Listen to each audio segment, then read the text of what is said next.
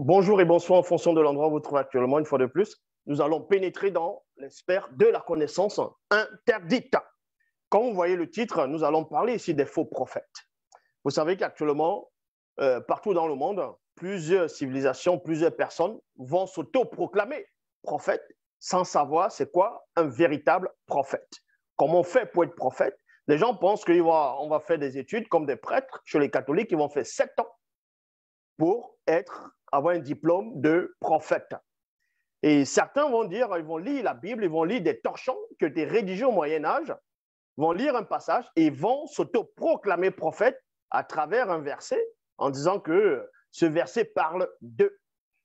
Et d'autres aussi vont euh, aller voir des faux pasteurs. Les pasteurs vont les imposer des mains sur la tête et on va les consacrer en disant que tiens, je te consacre prophète au nom d'un certain Yoshua Amashia qui n'a jamais existé.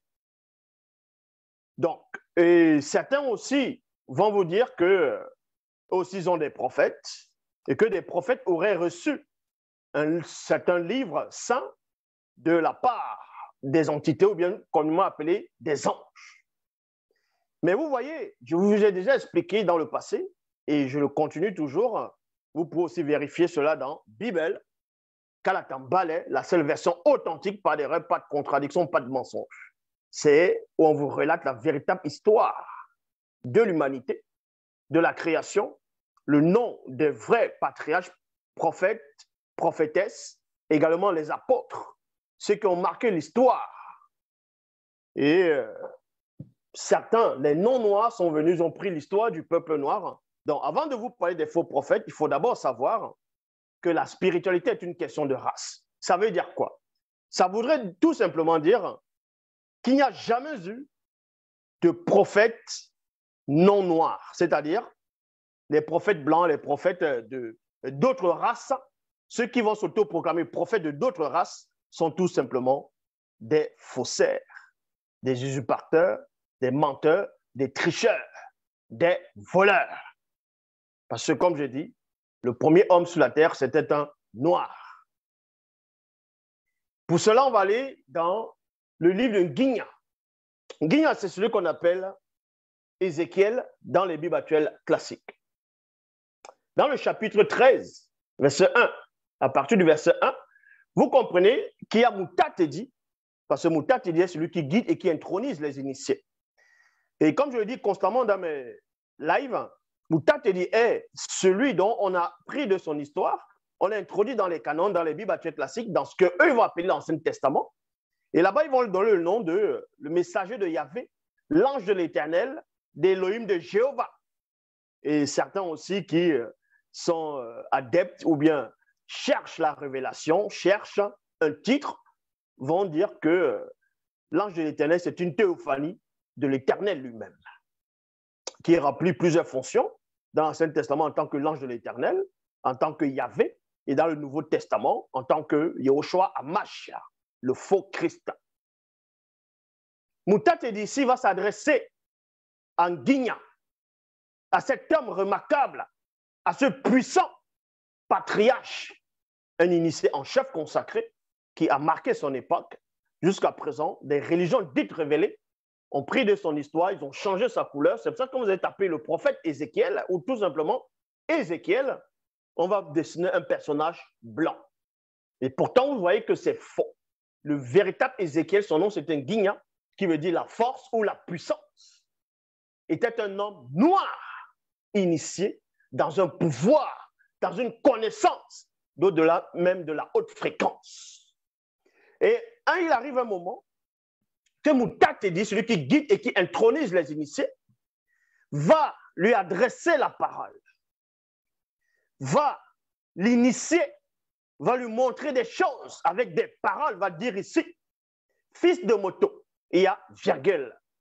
Quand on dit fils de moto, en français, ça veut dire euh, fils de l'homme.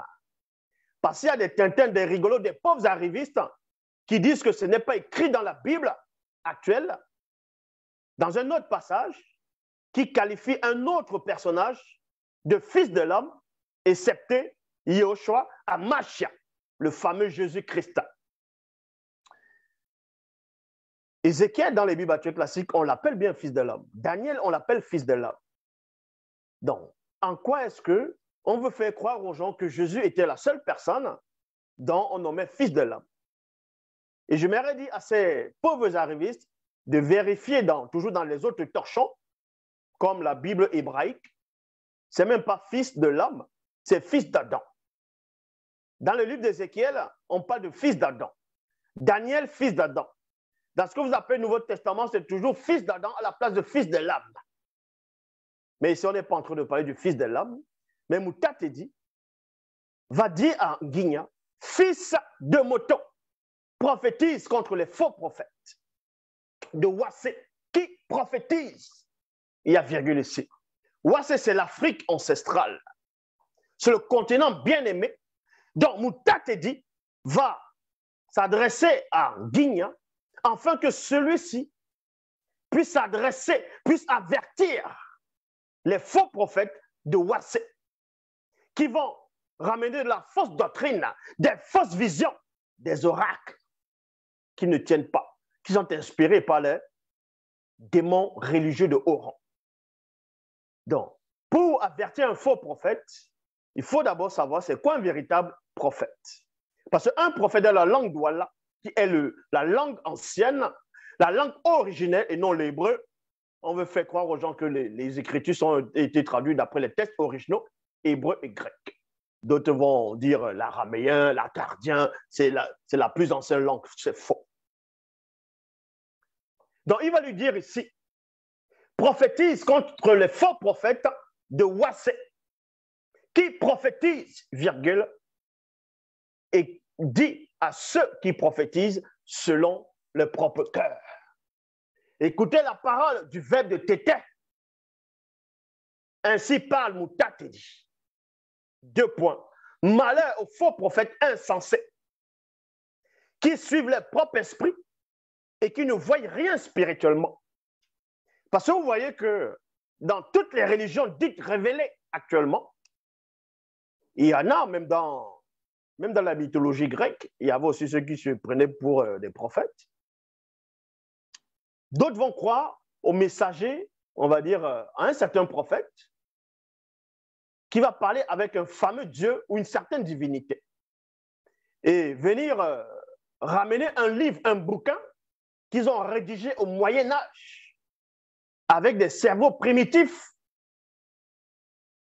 où ils ne maîtrisaient pas la science, ne maîtrisaient pas la médecine, ils ne maîtrisaient pas euh, le temps et l'espace, tout simplement ou les lois de la physique. Donc, vont venir écrire des choses en fonction de l'état de conscience des personnes qui vivaient à cette époque, des gens qui avaient du mal à réfléchir, à raisonner, à comprendre des simples équations. En cela, ils vont propager la fausse doctrine. Et parce que les gens pensent que plus il y a du monde dans une religion, forcément la religion est vraie. Ça, c'est faux. Donc, Moutate dit, va avertir aux prophètes ici, aux faux prophètes, à certaines personnes qui se prennent pour des prophètes, qui disent que Moutate dit, m'a dit que j'ai eu une vision. Et quand on demande à ces pseudo-prophètes de venir euh, expliquer les visions, de venir dévoiler ou révéler les visions, expliquer la vision, vous allez voir, ils vont donner toutes sortes d'explications qui ne tiennent pas rempli d'erreurs, de confusion, de contradictions, de mensonges, d'anti-vérité, tout simplement. Donc, les premiers prophètes, on va dire comme ça, euh, non pas que, quand on dit les premiers prophètes qui ont foulé les pieds sur cette terre, on sait que c'est la race noire. En dehors de la race noire, il n'y a pas d'autres prophètes. Est-ce que vous comprenez? Je répète, tous les prophètes dont on fait allusion, même dans les Bibles actuelles classiques, c'est l'histoire des véritables prophètes qu'ils ont pris dans, euh, l'Afrique ancestrale. Ils ont tout simplement changé les noms, changé les lieux de naissance, changé les couleurs. Et plusieurs de leurs propos, prophéties, pour égarer encore plus le peuple noir.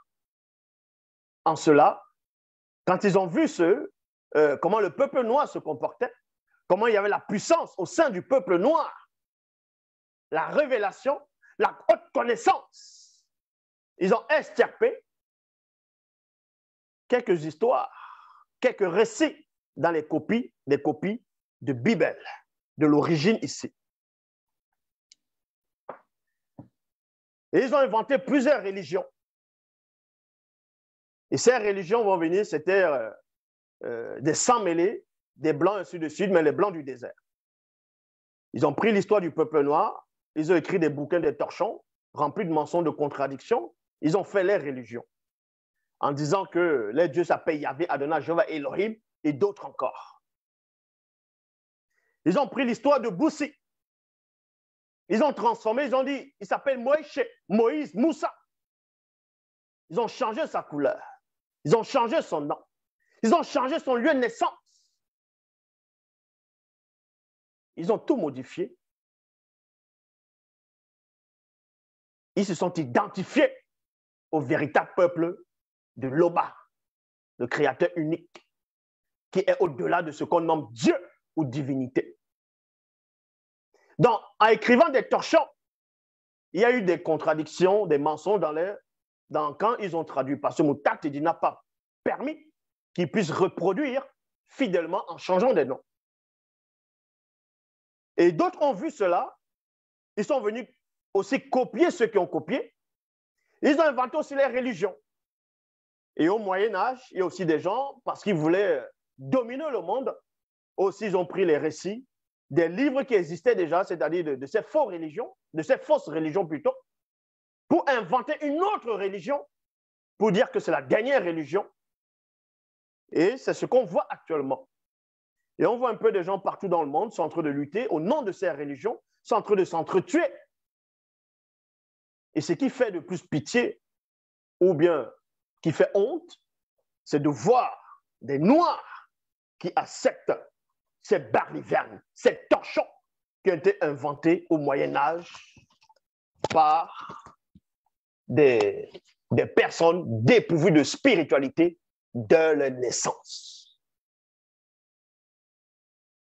Donc, Moutat te dit, il prévient ici, il s'adresse en Guigna, parce que Guigna, c'est la force, c'est la puissance. Va t'adresser à ces prophètes de Wassé, à ces faux prophètes, et avertis-les de ma part il dit ici, malheur aux faux prophètes insensés qui suivent leurs propres esprits et qui ne voient rien spirituellement. Vous allez voir, il y a des gens qui vont se dire, euh, ah tiens, il est prophète de Dieu, il est prophète de telle divinité, en disant qu'il a eu une vision. Un ange lui a apparu, des anges sont venus, tel un autre prophète est venu et lui a parlé. Et vous comprenez que les mêmes noms qu'ils vont donner, c'est les mêmes noms que les autres religions ont. Et les mêmes erreurs, les mêmes contradictions, les mêmes mensonges. Et Moutate du poursuit par Guigna, il dit ici, tels des renards au milieu des ruines, tels sont tes faux prophètes. Oh, Wassé, vous n'êtes pas monté devant les brèches. Il y a virgule vous n'êtes pas monté devant les brèches. Quel est le prophète qui monte devant les brèches? Parce que pour connaître un véritable prophète, il faut connaître la vie de ce prophète. Il faut connaître le moment où ce prophète a reçu la révélation. Il faut savoir c'est quoi un prophète. Vous pensez qu'on devient un prophète comme ça? Qu'on va choisir une personne, on dit, tiens, tu es prophète, va délivrer le peuple, va, tu deviens prophète de l'humanité. Vous savez, c'est quoi un prophète? Un prophète dans la langue originelle, c'est Mutopeda Mundi. Celui qui parle de la part de l'esprit et pour l'esprit. Maintenant, on, parle de quel esprit ici? On parle de quel esprit? Parce qu'il y a esprit et esprit. C'est pas parce qu'un esprit va venir te parler pour te dire, euh, va avertir le peuple, va dire ceci au peuple, que forcément tu es un prophète. Il faut savoir quel esprit qui t'anime et quelle est l'origine même de cet esprit, quelle est la vie de cet esprit? comment cet esprit se comporte? Est-ce que cet esprit-là, qui inspire telle personne, ou donne la révélation à telle personne, est-ce que cette révélation est une bonne révélation? C'est ce qu'il faut voir. Vous n'êtes pas monté devant les brèches, vous n'avez pas entouré d'un mur le sol de Wassé pour demeurer ferme dans le combat spirituel. Leurs visions sont vaines, leurs oracles menteurs, leurs visions sont vaines. On va vous dire qu'il y a des prophètes qui viennent, ils ont une vision, Dieu les a dit, un ange apparu, les a, euh, les a donné une révélation, les a donné le message, l'évangile. Un ange a dit, Dieu te choisit, va sauver l'humanité, va parler à l'humanité, va extirper l'humanité de la mort spirituelle. Mais le message que cet ange-là va donner, va transmettre à ce soi-disant prophète est déjà faux. Parce que comme je dis, je répète ici, tous les prophètes, véritables prophètes qui ont été envoyés, sont uniquement, je répète, de la race noire. Il ne peut en être autrement. Donc si on vient vous dire qu'il y a tel prophète de telle religion, tel prophète a ramené tel livre, telle révélation, ce n'est pas un noir, c'est un faux prophète. Et ce n'est pas parce que un noir va venir, va te dire qu'il a eu la révélation, qu'un esprit lui a parlé, que forcément c'est un prophète. Il faut qu'il dise qui c'est qu'il a mandaté. Si celui qui est en face de vous n'a pas approuvé cet homme qui se prend pour un prophète, c'est un faux prophète. Si Bible, Kalatan Ballet, n'a pas approuvé, apporte le message qui est contraire à Bible, ne le recevez pas. Et même s'il vient, il apporte quand même un, message semblant de Bible, il faut néanmoins que celui qui est en face puisse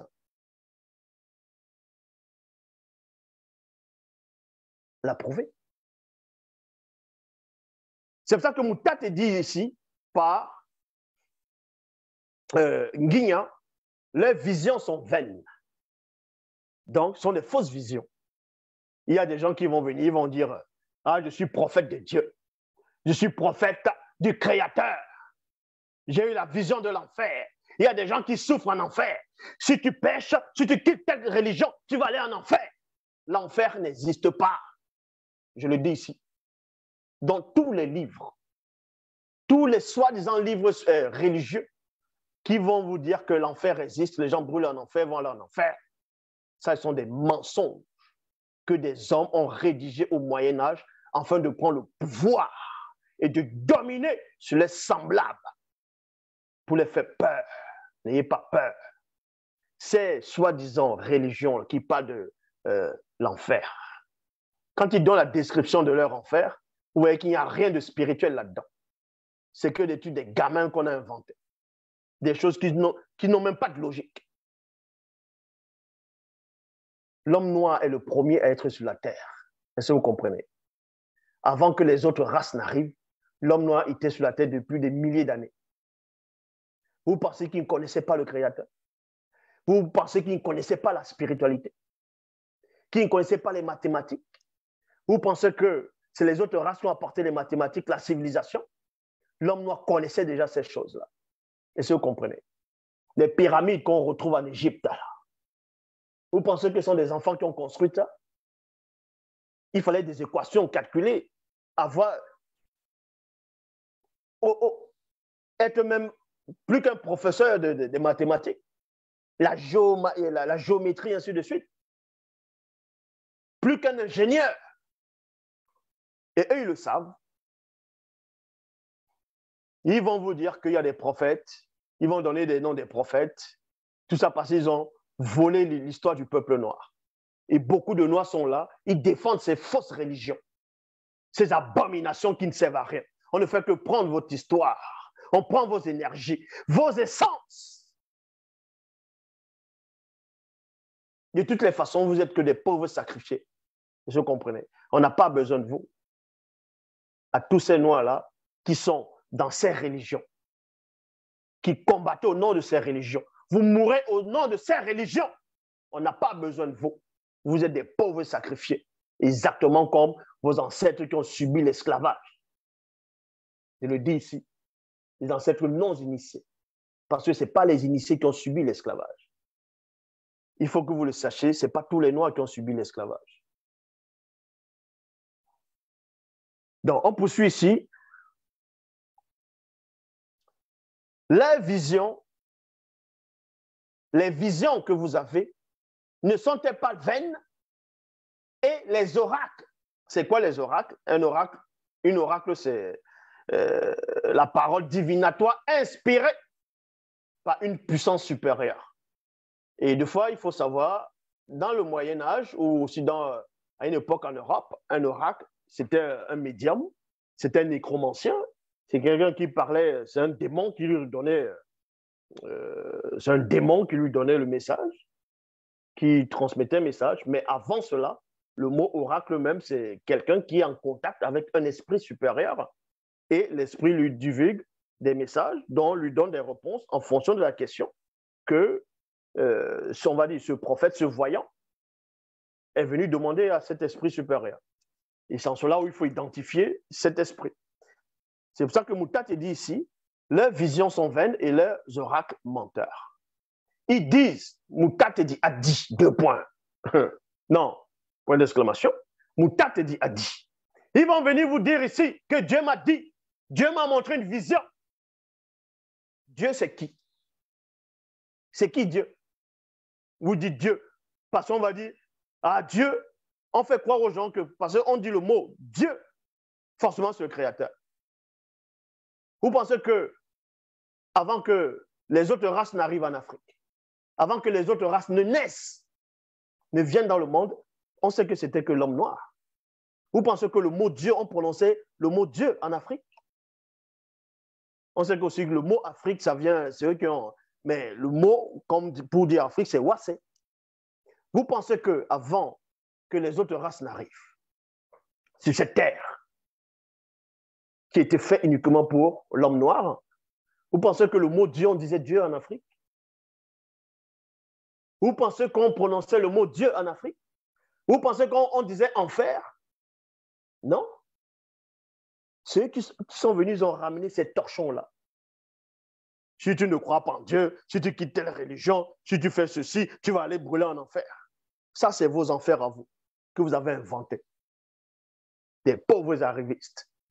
L'enfer existe, l'enfer existe, les gens vont brûler en enfer, n'importe quoi.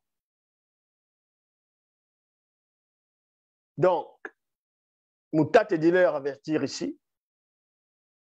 Il dit, les oracles, les visions ne sont-elles pas vaines? Et les oracles que vous prononcez ne sont-ils pas menteurs?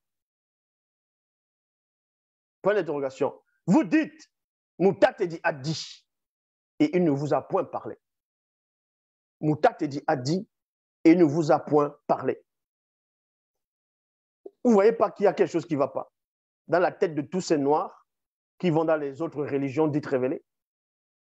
Dans les autres religions, les autres races, ils vont vous ramener des religions, des bouquins que eux-mêmes ils ont rédigés avec des fautes, des erreurs, des contradictions, des mensonges des, récits inventés, des récits qu'ils ont pris à gauche, à droite. Ils ont réinterprété cela. Et quand on, ils, vous disent que non, c'est tel prophète qui a reçu le livre, c'est tel prophète qui a reçu euh, les tablettes, c'est tel prophète qui a reçu euh, euh, les, messages, ainsi de suite. Mais quand on parle de leur prophète, c'est le prophète de leur race. Toutes les religions que eux inventent, les prophètes ressemblent toujours à leur race. Leur Dieu, c'est leur race le nom de leur Dieu, c'est au nom de leur, de leur langue. Mais le noir, il est où? Le noir n'a pas de prophète. Le noir, euh, euh, il n'a pas de livre. Vous comprenez que vous êtes mal barré? Celui qui est en face de vous, il trouble, il dérange, il perturbe. L'homme noir, toi qui m'écoutes premièrement, tu te poses la question, les autres ont des livres, soi-disant inspirés d'un fameux Dieu. L'homme noir, il a quoi? Voici ton support. Le livre de vérité. De la vérité, Kalatambale. Voilà ce qui est dit. Ce n'est pas écrit ici, traduit d'après les textes originaux. C'est écrit récit primitif. Ancestraux du peuple originel. C'est ton histoire qui est là-dedans. L'histoire de toutes les civilisations, de comment le monde a été créé, de comment euh, l'univers, les multivers, toutes choses ont été créées avec une telle précision. On vous donne le nom de tout, c'est-à-dire des, des vrais prophètes. Parce qu'il y a beaucoup de soi-disant pasteurs maintenant qui sortent, qui disent aussi ce que moi je disais depuis il y a de cela plus de dix ans, qu'ils ont pris l'histoire du peuple noir, non, ils ont pris l'histoire euh, du peuple noir, euh, ils ont changé les noms, que Abraham, Isaac, Jacob, Moïse, ainsi de suite, c'était des noirs. Ça, je, le disais déjà depuis. Eux, maintenant, ils viennent le dire. Mais donnez donc le vrai nom d'Abraham. Vous pensez que le mot Abraham, c'est un nom africain? Vous pensez que Isaac, Jacob, Abraham, on va dire Moïse et tout ça, c'est un nom africain? Non? Comment on les appelait dans la langue originelle? Quel était leur véritable nom? Ils étaient de quelle tribu? Ils venaient de quel peuple? De quel coin de la terre? De Wassé Comment?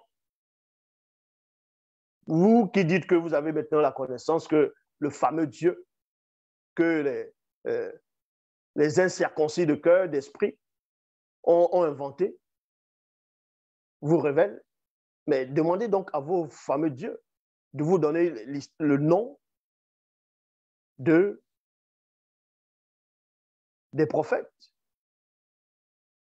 dont vous dites aussi qu'ils ont, euh, ont trafiqué les noms.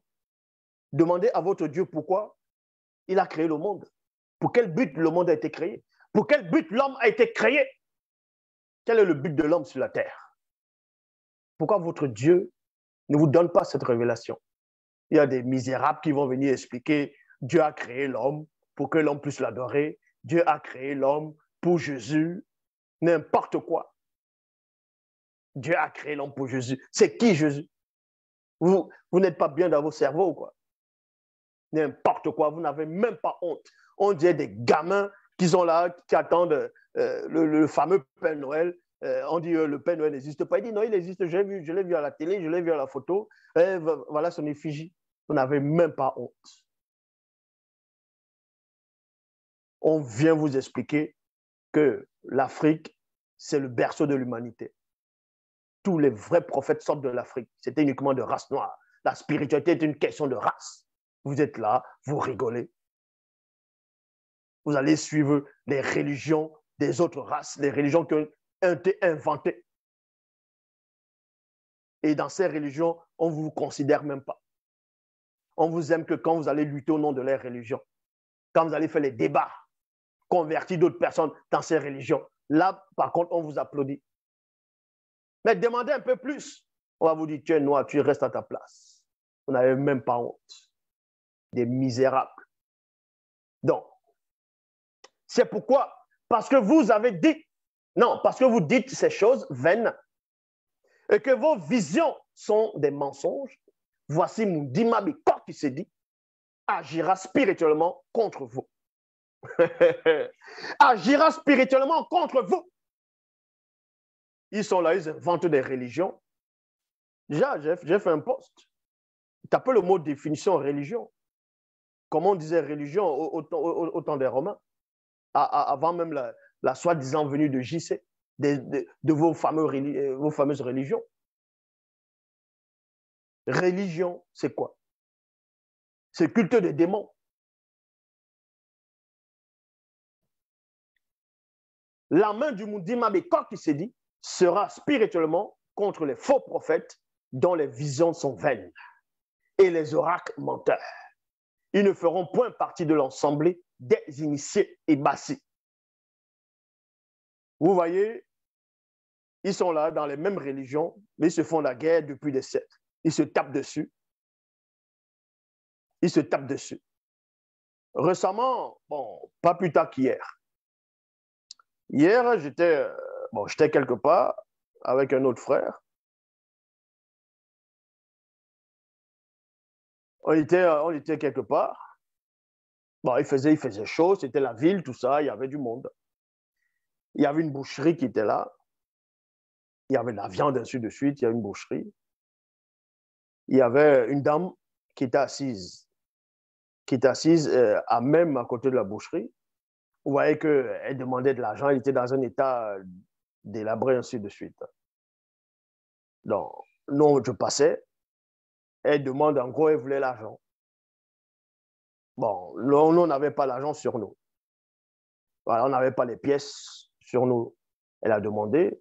Après, le frère en question a dit, euh, en gros, il n'a pas, il on n'a pas l'argent. Il n'a pas, je crois, il avait dit soit il n'a pas l'argent ou un truc comme ça. Et la dame me dit, euh, dans ce cas, soit soit elle voulait la viande ou qu'on entache la viande ou bon, bref, un truc comme ça.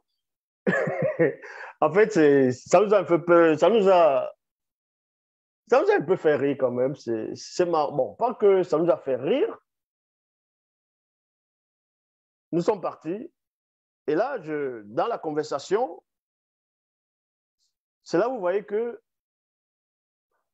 celui qui était dans la boucherie, était de la même race que la dame qui était assise dehors dans un état lamentable. C'était la même race, ils étaient de la, sont de la même religion. La même race, la même religion.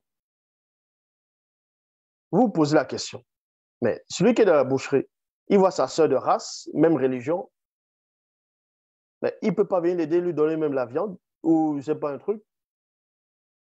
Vous voyez que ces religions-là, c'est que, de, que la comédie.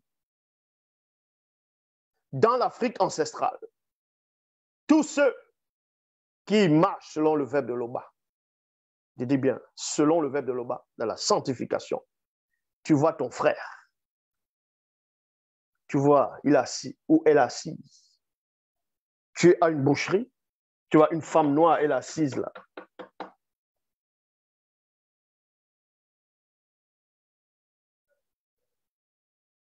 Elle vient t'aide. Hein. Une fois, je me rappelle, on était en route pour euh, une autre ville, c'était pour, euh, parce on devait aller, euh, bon, il y avait une église de maison. Il y avait une église de maison, on était en voiture. Et à un moment, on s'est arrêté, bon, pour acheter à manger, il y avait aussi les enfants, les enfants de d'autres sœurs, voilà on s'est arrêté dans un coin pour acheter à manger pour qu'ils puissent manger, c'est-à-dire en cours de route, et aussi les, les qui étaient là qui, avaient faim. Donc, il y a un jeune homme qui apparaît, un jeune homme, un jeune homme noir, on va dire comme ça, qui apparaît. Mais on voit automatiquement qu'il est d'une autre religion. Il est d'une autre religion. On le voit. Il était dans un état lamentable. Voyez qu'il avait faim, amaigri, il était sale. Il est venu. Il a, pour parler, on a baissé la vitre. Il a, il a, il a expliqué qu'il est là depuis, il a faim, ainsi de suite. On n'a même pas. On a sorti l'argent direct, on a donné. On a sorti l'argent direct, on a donné. Donc, on, ça ne vient même pas dans la tête pour dire ah, tu es de telle religion, tu ne crois pas en l'Oba, je ne te donne pas. Non. Non. C'est ça la spiritualité. Il est d'abord ton frère de race. Et même s'il n'était pas un noir, même si c'était un blanc ou autre, on allait toujours donner. Mais les autres religions, ils ont les semblables. Ils amassent de l'argent, de l'argent, des milliards. Ils ont les semblables qui crèvent de faim. Les crèvent la faim. Mais sont des clochards, ils ne font rien. Ils sont là, ils, font des prières. Ils parlent d'un certain Dieu. Mais vous, vous parlez de quelle spiritualité? Vous savez c'est quoi la spiritualité?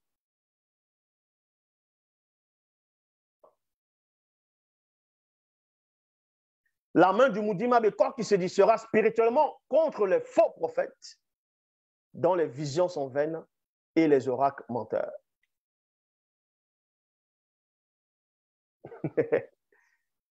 Hier, quand on partait, j'ai dit à ce frère en question, j'ai dit, c'était autant, si c'était, euh, tu vois en gros les gens qui marchent selon le verbe de Loba, ils sont avec Loba, et que la dame là, une dame comme ça, elle est avec Loba, euh, l'autre qui a boucherie avec Loba.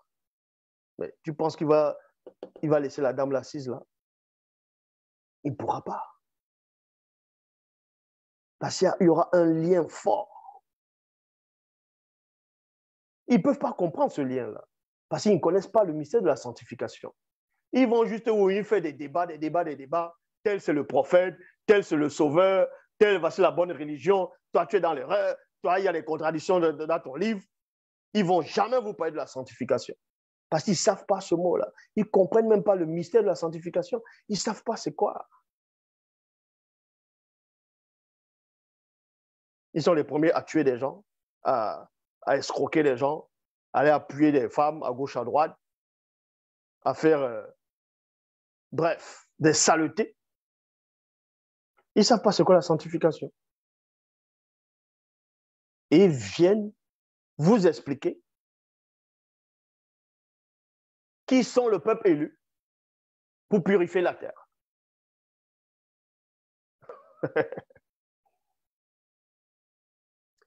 Voici les murailles. Mais avant cela, il dit ici, ces choses arriveront parce qu'il égare beaucoup de non-initiés en disant paix quand il y aura point de paix. Donc on s'adresse ici premièrement, ici là, à ces faux prophètes noirs. Vous voyez, ça commence d'abord au sein du peuple. Euh, faux prophètes noirs qui vont égarer les autres noirs, donc on va dire non initiés.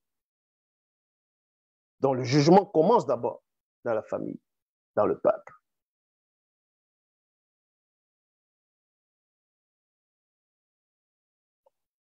Dit à ceux qui la couvrent de plâtre qu'elle se coulera, une pluie violente subviendra vous tomberez et la tempête éclatera.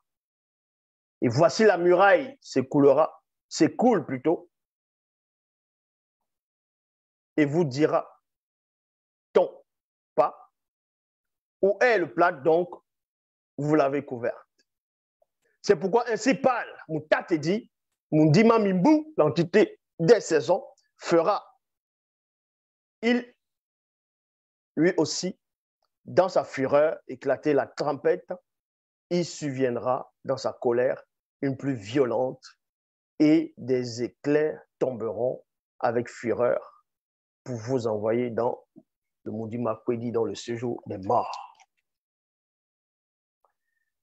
Pour vous envoyer dans le séjour des morts. Moudima Bekok qui se dit abattra spirituellement la muraille que vous avez couverte de plâtre et lui fera toucher la terre. Il y a virgule, je m'arrête dans la virgule. Je vais vous dire une chose.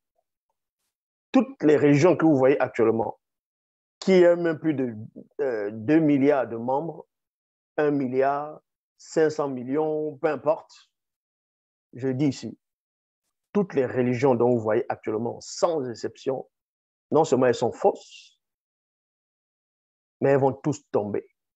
Est-ce que vous comprenez? Elles vont connaître le déclin. Et ça a déjà commencé. Ça a déjà commencé.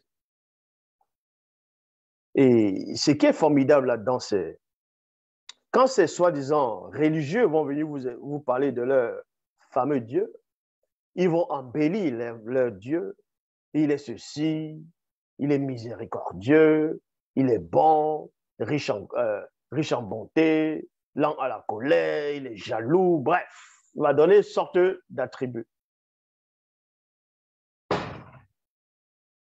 Il va donner les attributs d'un soi-disant Dieu, de le soi-disant Dieu. Mais ce que vous ne savez pas, c'est que même la description de leur Dieu qui donne, ils vont donner la description de leur fameux Dieu dans leur torchon, donc leur soi-disant livre religieux. Mais nous, nous connaissons la vraie description de leur divinité, de leur Dieu, à quoi ils ressemblent réellement. Je vous ai toujours expliqué que c'était des démons religieux de haut de différentes espèces. Les démons hybrides, euh, mi, euh, aigle, ainsi de suite, d'autres de la race des djinns, d'autres, bref, il y a plusieurs descriptions de leur fameux, fameuse divinité. Et on les connaît. En tout cas, ceux qui sont dans le secret, on connaît la description de vos dieux. On les a vus. Et ils savent qu'on les a vus.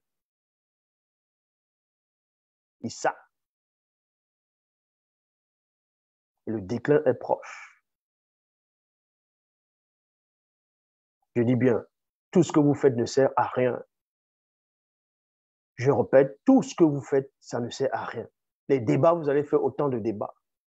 Vous allez vouloir convertir les gens par force, faites ce que vous voulez. Ça va servir à rien. Ceux qui vont accepter, ce sont tout simplement des victimes. Les victimes, c'est-à-dire ceux qu'on a déjà chassés de la source. Ce sont des victimes. Des gens qui ne servent à rien. Et maintenant, cette marche-ci, personne ne va stopper cela. Je dis bien, personne.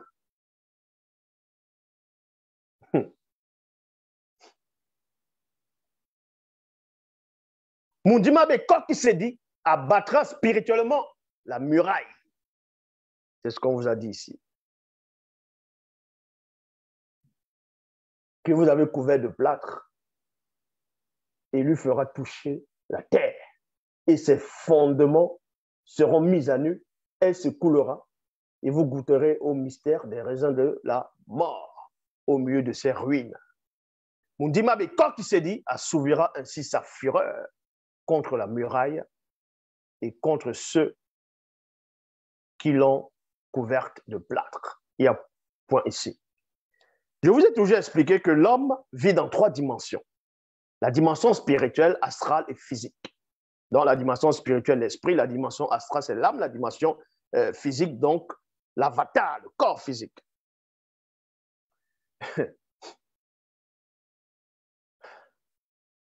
le peuple noir vit trois périodes. Je dis bien, le peuple noir vit trois périodes. Il y a des périodes basses et des périodes hautes dans ces trois périodes-là que je vais vous expliquer vite fait.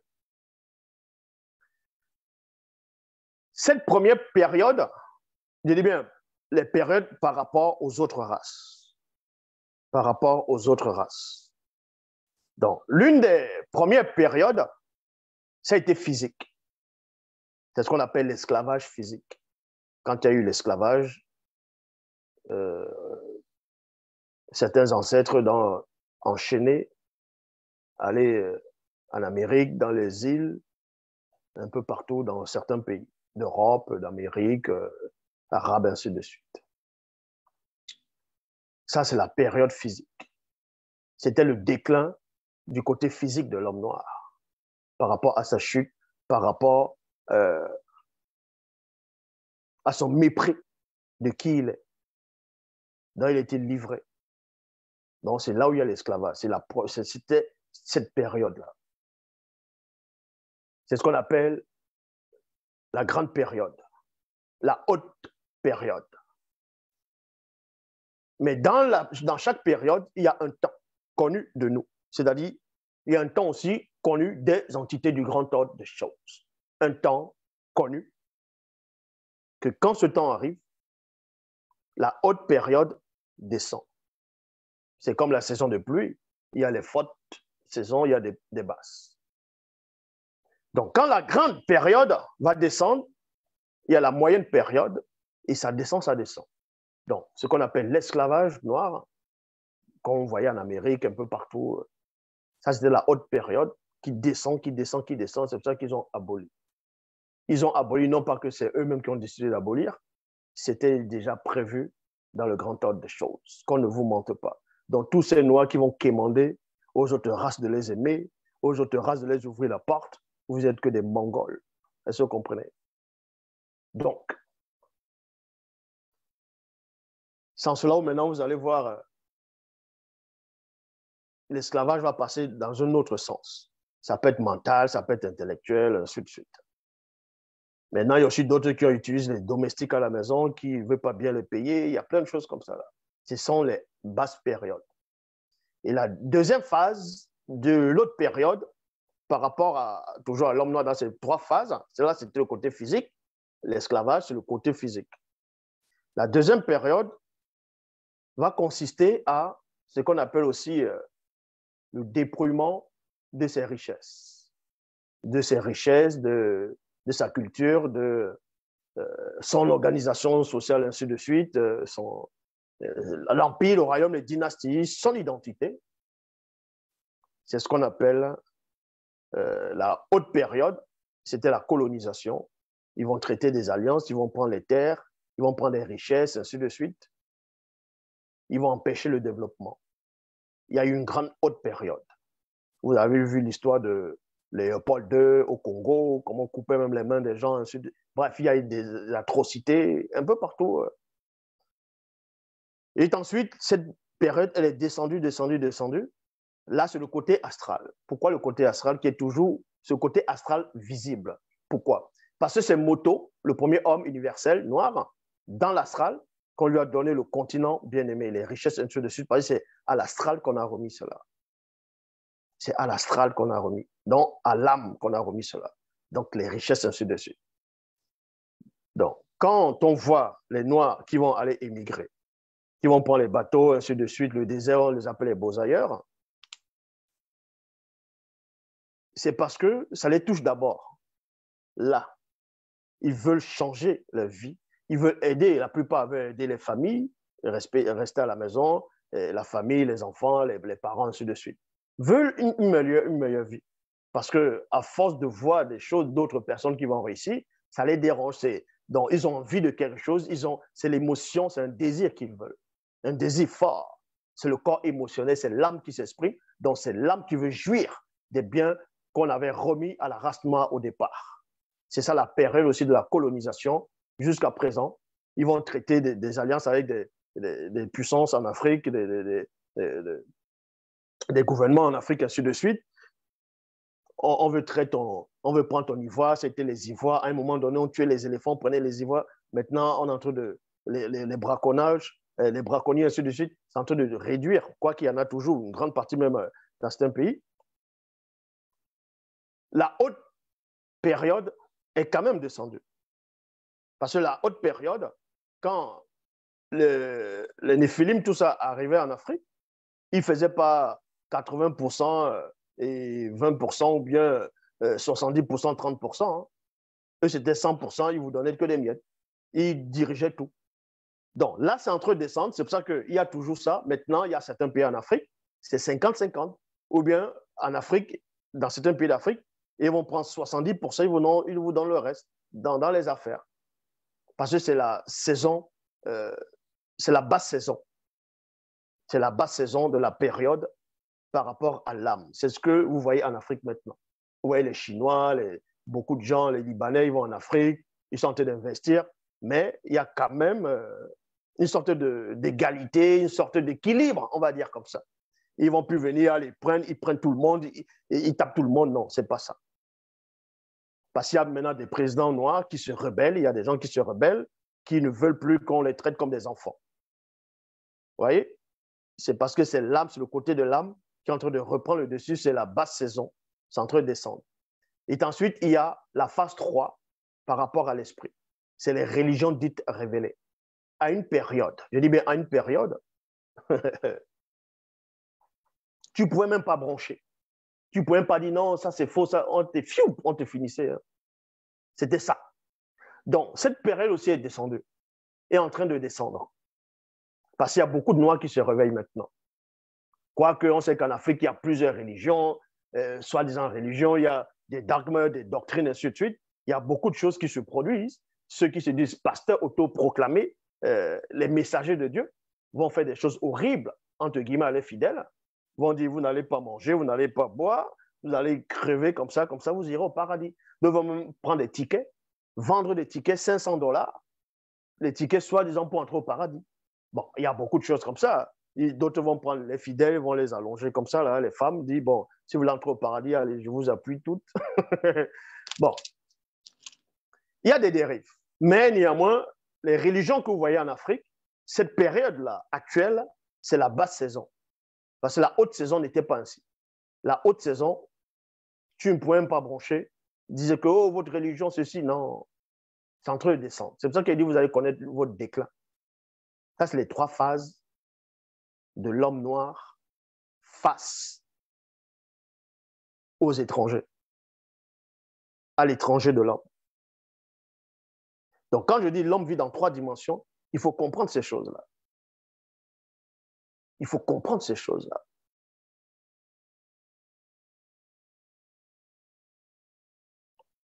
Des faux prophètes de Wassé qui prophétisent sur Longanapi et qui ont sur elles des visions de paix. Mais il n'y a point de paix. Dimutatedi. Vous allez voir les soi-disant chefs religieux. Vous voyez qu'ils agissent de la même façon que tous dans cette organisation dont je suis en train de vous dire ici. Écoutez très attentivement, vous allez voir les trois plans dont je viens de numérer. Dans le monde religieux, les soi-disant chefs religieux des autres, des, des, on ne va même pas dire oui, religieux, des autres soi-disant, euh, des religions dites révélées, ils font des, des réunions entre eux. Ils se concertent entre eux. Ils se concertent entre eux. Mais les moutons se tapent entre eux, mais eux, ils se voient, ils parlent, ils rigolent, ils s'embrassent, ils font des réunions de paix, ainsi de suite. Ça, c'est le côté religieux. Le côté maintenant astral, on va dire comme ça, par rapport à l'âme, l'émotion, le désir, donc le pillage des richesses. Mais vous voyez plusieurs pays, des pays même qui ne venaient même pas en Afrique, maintenant ils commencent à venir en Afrique pour venir aussi manger la part du gâteau. Pour manger la part du gâteau. Ils vont se concerter ensemble. Ils vont dire, bon, toi tu me laisses tel pays, toi tu me laisses là. Donc, ils sont ensemble. Hein. Chacun travaille pour ses intérêts. Le jour où il y a, on va dire, euh, il y a désordre là-bas, on va rapatrier d'abord peut-être, on va dire, euh, euh, peut-être en Afrique, dans un pays d'Afrique, il y a peut-être une guerre qui, qui survient là-bas. Mais si c'est les, les, les, citoyens de l'Union européenne, que ce soit Belgique, Airline ou Air France ou Suissair qui est sur place, ils vont prendre les ressortissants de l'Union européenne. Parce qu'il y a déjà des accords. À une période, c'était euh, quand c'est Air France, il prend que des Français. Quand c'est Suissair, il prend que des Suisses. Quand c'est Belgique, euh, euh, Bruxelles plutôt, ils vont prendre que les Belges. Maintenant, c'est en train de changer. Mais je ne suis pas en train de vous dire ici que Suisse est dans l'Union européenne, hein. mais il y a quand même des accords derrière. Donc, ils se concertent ensemble et là-bas, ils vont piller l'Afrique. Les chefs sont là, mais quand on entend parler des journaux, dans le journal, ils se tapent dessus, se font les guerres. Oh, tel pays est ceci. Mais derrière, ils vont manger la part du gâteau ensemble. Hein. Hmm? Et le physique, c'est la même chose. Du côté physique maintenant, physique, homme, ils vont soi-disant parler des droits de l'homme. Pourquoi on dit droit de l'homme? Pourquoi on ne dit pas droit humain hein. Ils vont parler des droits de l'homme.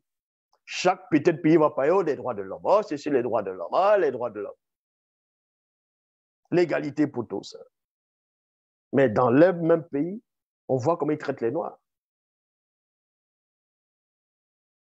Ils sont tous ensemble. Mais c'est en train de finir. C'est un déclin. à une période aux États-Unis d'Amérique, est-ce que vous aurez même vu un seul noir être policier ou travailler dans un bureau? Ça allait commencer comment? Maintenant, on les voit dans le Patagone, dans le. On les voit dans le, dans la NASA, quoique c'est des faux trucs. On les voit dans l'administration. Parce qu'il y a une loi aux États-Unis qui, a été, euh, qui a été validée par le Sénat. C'est-à-dire même les, les présidents les plus racistes blancs aux États-Unis, ils ne peuvent pas aller contre cette loi-là. Ils sont obligés d'avoir un noir qui bosse avec eux dans les cabinets. C'est la loi aux États-Unis. C'est pour ça que quand vous allez dans les bureaux, dans, dans presque tous les ministères, vous allez trouver des noirs dedans. Eux, ils sont en train de. Ils font voter les lois là en pensant que c'est une bonne conscience pour eux, mais ils savent que c'est la prophétie. L'homme noir va reprendre ce qui lui appartient. Est-ce que vous comprenez? C'est comme ça. Même dans des pays d'Europe où on parle du racisme, il y a des Noirs qui sont, qui sont euh, députés, sénateurs, qui sont dans, dans, le gouvernement, qui sont nombreux dans la police. Quoi qu'il y a tout du racisme, c'est comme ça. Ça commence. Maintenant, il y a aussi d'autres Noirs qui vont tout le temps taper sur les chefs d'État euh, en Afrique. Ah, tel président, il gouverne mal. Tel président, il faut le faire sortir. Ah, les présidents africains, c'est des lâches. Ah, ce sont des, euh, comment on les appelle Ce sont des lieutenants ou bien des gouverneurs. Euh, ce sont des préfets de, de tel pays d'Europe. Je ne suis pas ici en train de les défendre, mais vous pensez que la plupart des présidents en Afrique n'ont pas envie de sortir de, de, de l'ombre de, de, de, ces colons. Vous vous dites, bon, mais pourquoi il ne sort pas? Pourquoi il ne met pas fin directement tout de suite hein, à telle alliance? Mais vous pensez que ça se passe comme ça? La prophétie est en marche. Dès qu'il dit il n'est plus d'accord, allez, on ne fait plus 50, euh, 50% euh, ou bien on ne fait plus, euh, toi je te donne plus 80%. Vous allez attendre qu'il y a le terrorisme dans le pays. Vous allez entendre qu'il a pris l'avion, ça a explosé. Vous allez attendre qu'il y ait un coup d'État. Vous allez attendre qu'on va être traité de dictateur. Vous allez attendre qu'il y a la guerre civile. C'est ce que vous voulez.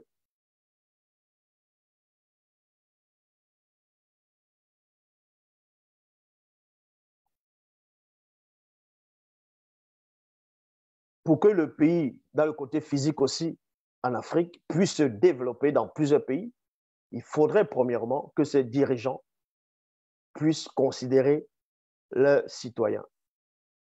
Premièrement. Il est donné de la valeur, les respecter. Ça veut dire quoi? On doit établir ce qu'on appelle la double nationalité dans les pays d'Afrique qui ne le font pas encore. Ceux de la diaspora qui ont l'expertise, qui ont des investisseurs, qui ont appris dans plusieurs métiers. On va, on a besoin de l'expertise, on les appelle, même si on ne demande pas à tous de venir vivre là-bas parce que, euh, voilà, c'est pas pareil.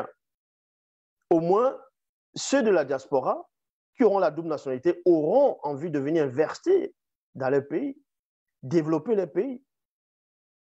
C'est une grande richesse. Et les autres nations ont compris cela. Les États-Unis d'Amérique, pensez qu'elle est grande là maintenant. Pourquoi? Parce que c'est les Américains blancs seulement qui, qui sont là Non.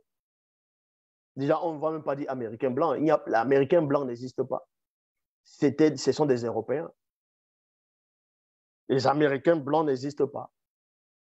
Ce sont des Européens qui sont là en Amérique.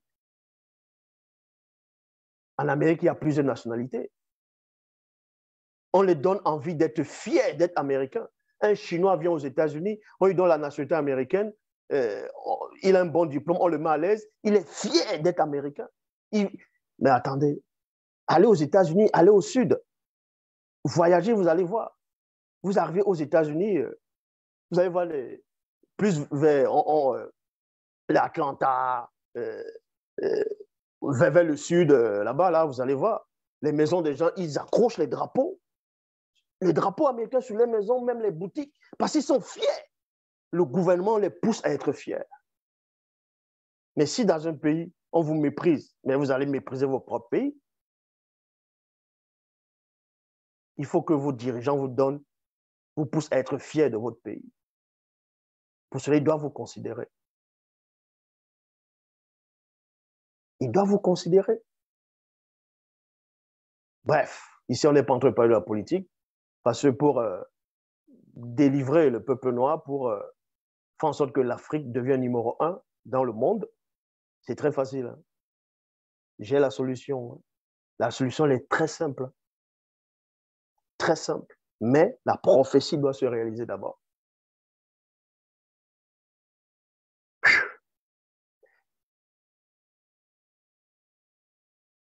Et toi, fils de moto, porte tes regards sur les filles non initiées de ton peuple qui prophétisent selon leur propre cœur et prophétisent contre elles, contre elles.